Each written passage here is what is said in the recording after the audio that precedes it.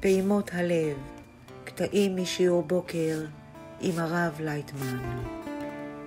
שאלה, מה זה ביטול הרשות? רב, ביטול הרשות זה ביטול השליטה של האדם. קודם הוא חשב שהוא שולט על העולם, או על כל מיני חלקי העולם, ועכשיו הוא מבין שאין לו שום שליטה, וזה נכון וטוב. הוא שמח בזה ומקבל את ביטול רשותו מכל וכול, כדי לתת בזה מקום לבורא לשלוט בעולמו. אם אני מתחבר עם החברה ופונה לבורא, אז הדרך שלי, הצעד שלי, הוא נכון. אין עונשים. באמת אין בעולם עונשים.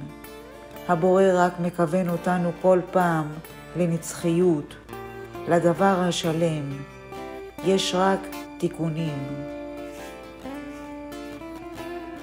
אם אנחנו לא עושים כלום, אז מתפתחים דרך הטבע, אבל זו דרך יסורים, ואין בזה שום דבר מקורי, טבעי.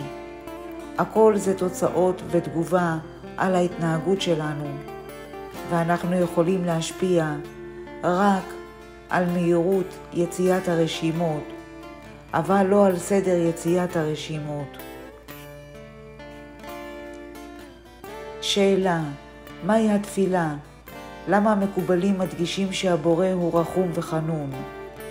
רב, כי זה מה שהאדם צריך לבחור בפנייה לבורא.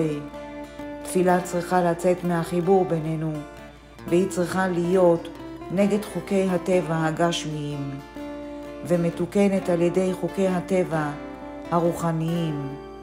זה לא נס, אין נס, פשוט מאוד.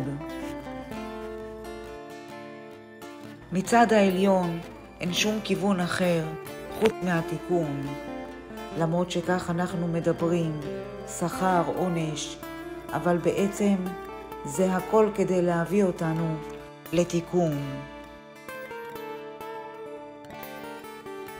הבורא לא מחייב את הנברא להיות המשפיע, אלא הנברא בעצמו מחליט שהוא עושה צמצום ומקבל רק בעל מנת להשפיע.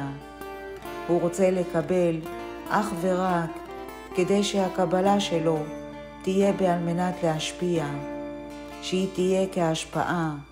הוא מוכן לקבל מבעל הבית בתנאי שזה לא נחשב לקבלה, אלא זה נחשב כהשפעה עבורו.